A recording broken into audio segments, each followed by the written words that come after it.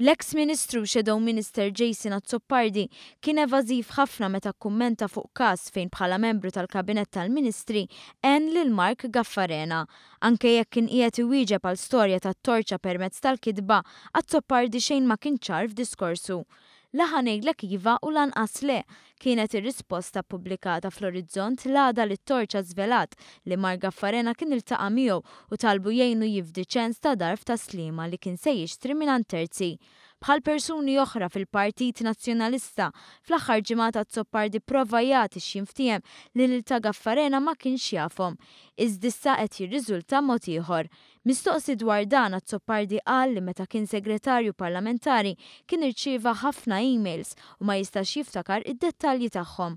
Kont nirċievi medja ta' 150 email kuljum dwar is-suġġetti li għalihom kont responsabbli jien, jew iktar minn 4,000 email fix-xahar u ċoe ħafna iktar minn 40,000 email f'sena u ċoe madwar 160,000 email fuq l-erba' snin li domt Segretarju Parlamentari.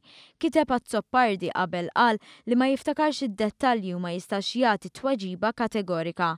Meta l-ġurnalisti tal-Orizzont ġibdulu l-attenzjoni li huma ma semmewx email iżda laqgħa, Azzopardi qal li ltaqa' ma' eluf ta' individwi u li għalih l-isem Mark Gaffarena ma kien ifisser xejn. Dikjarazzjoni kemmxejn differenti minn dak li qal il-Viċi Kap Beppe Fenech Adami. li meta pprova jagħti l-impressjoni li ma kienx midħla ta' Gaffarena, kien iddikjara li kulħadd jaf lil ta' Gaffarena.